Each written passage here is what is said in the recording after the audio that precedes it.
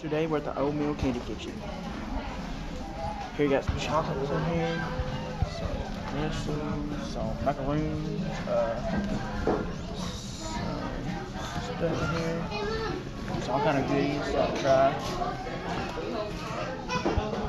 We're going to chocolate monkey, but this is some sugar-free Old Mill candy. Alright, it's the Old Mill candy. We're gonna show you what's in here. We're gonna take advantage, get some good candy. This is my favorite candy store every time I come to Gatlinburg.